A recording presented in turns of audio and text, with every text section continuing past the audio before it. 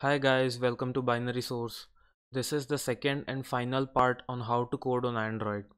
In this video, I'll show you some really cool tips and tricks which will make coding on Android more efficient and comfortable. Since this video is a continuation of the first part, please make sure you have watched the first part and are able to compile and run programs as shown at the end of part 1. Also, please make sure that you have installed all the programs which were shown in the first part. I have provided the link of first part in the description in case you haven't watched it. Before we start, we will need a few programs installed on our Linux subsystem. They are tmux, git and neofetch. Please make sure all the programs which are required in the first part are also installed on your system. To install this, type apt get install and the name of the programs. This command might differ depending on what Linux distro you have installed. While these packages are downloaded and installed, let me tell you why do we need each one of them. First, tmux. tmux stands for terminal multiplexer and simply put, tmux allows you to create and access multiple terminals from a single screen. How is this useful in our situation you might ask? Now think about it.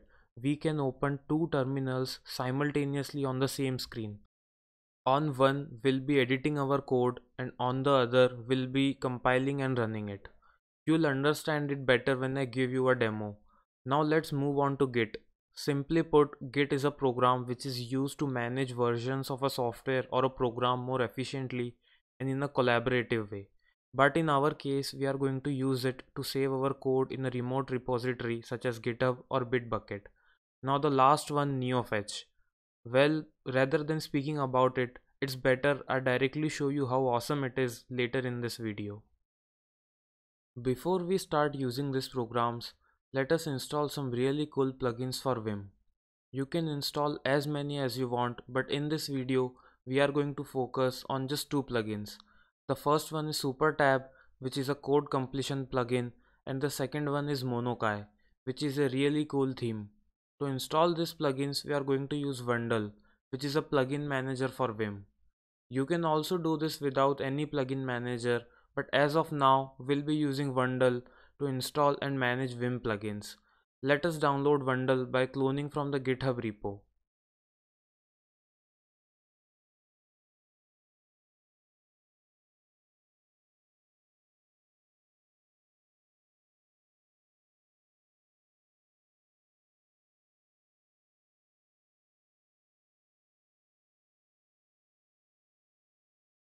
We now need to create a Vim configuration file in the home directory and add a few lines there. I have placed these lines in the description so that you can copy and paste them.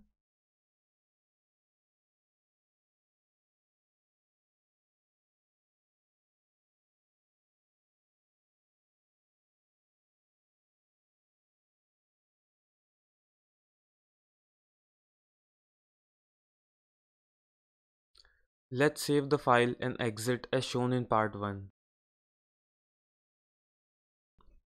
Now open the Vim configuration file again. Type colon plugin install and press enter to install the plugins.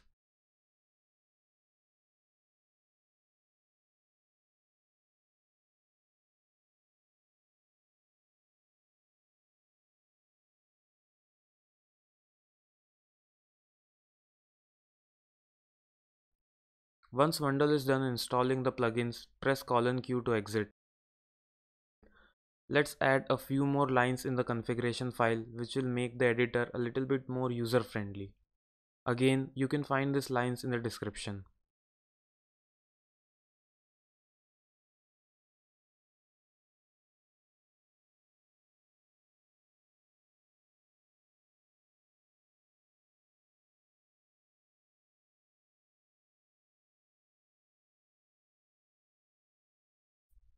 Make sure you have saved it.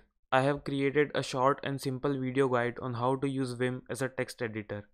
You can have a look if you want to learn the basics of Vim. Video link is in the description.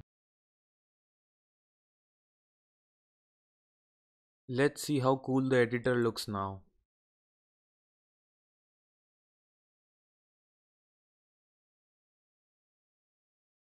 We now have Monokai theme applied. We can now see the line numbers and we have set the numbers of spaces for the tab key press.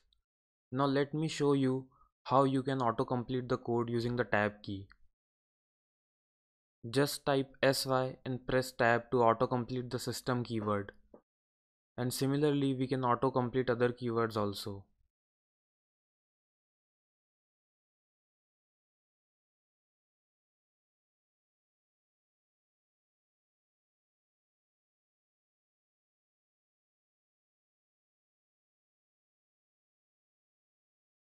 Now this part is going to be really cool.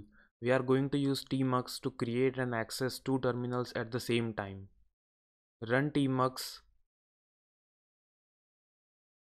and then press Ctrl plus B and then percent to open another terminal horizontally. To move between these terminals use Ctrl plus B and then the arrow keys. With the help of tmux we can open and edit the code in one terminal and we can compile and run it in the other one.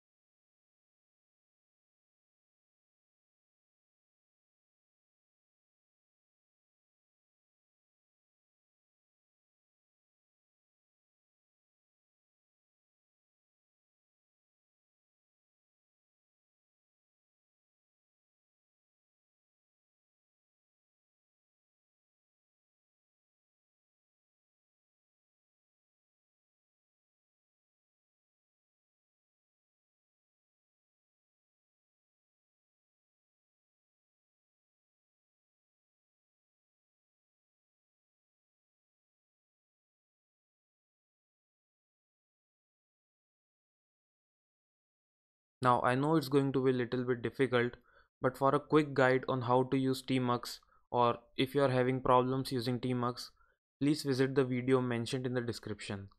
It is short enough not to take much of your time, but it is informative enough to make you comfortable with tmux. Let's move to Git now. We'll be using Git mainly to push and pull, that is upload and download our code so that we can program on different machines without having to write the same code again and again. First make sure you have a remote repository. I'll be using GitHub here and have already created a remote repo on GitHub. Feel free to choose any other platform such as Bitbucket.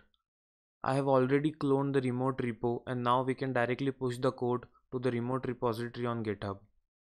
First, let's add the Java code file to the stage and commit the changes.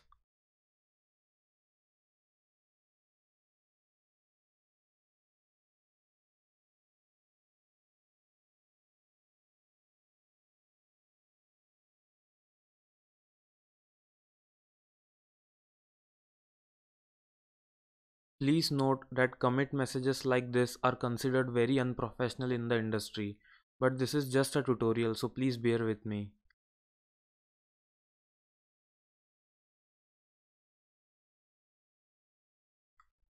Now let's push the code to the remote repo using git push command. In this way we can continue working on our code from the same status on another machine without having to write the code again. For a quick guide on git please visit the video mentioned in the description.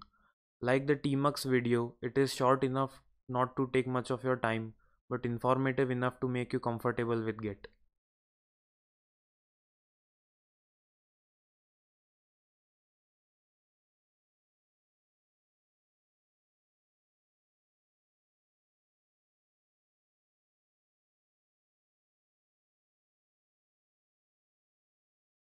Let's move to the last program which is NeoFetch.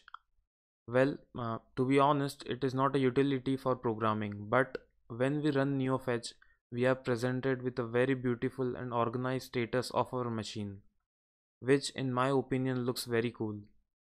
That's it guys, congrats on making it this far. Please note that this is a very minimal basic environment for development. Once we have Linux, the possibilities are pretty much endless. If you want, you can take all this to a much higher level. Thanks for watching guys and if you want to learn the basics of Vim or Tmux or Git, please make sure to check the videos mentioned in the description. If you encountered any issues while following the same process in your machine, please mention them in the comments. I'll be happy to solve them. If you loved this video and want more videos like this in the future, please consider subscribing. It will mean a lot to me and give me confidence to create more videos like this. Stay safe and keep learning. Bye.